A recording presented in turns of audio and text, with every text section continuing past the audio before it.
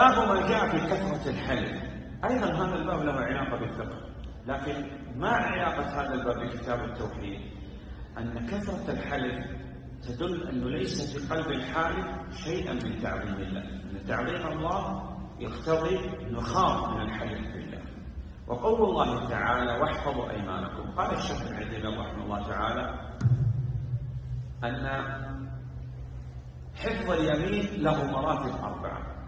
الأول لا تحلف الثاني إذا حلفت تفي الثالث إذا لم تفي تكفر يعني حفظ اليمين ابتداء وسطا وانتهاء. والرابع أن لا تحلف إلا بالله. مرة أخرى. ابتداء لا تحلف أبدا إلا عند الضرورة والحاجة. الثاني إذا حلفت تفي تحرص أن تفي بيمينك إذا لم تفي تخرج كفارة اليمين إخراج الكفارة دليل على حفظ اليمين وتحفظ اليمين بأن لا تحلف إلا بالله. نعم.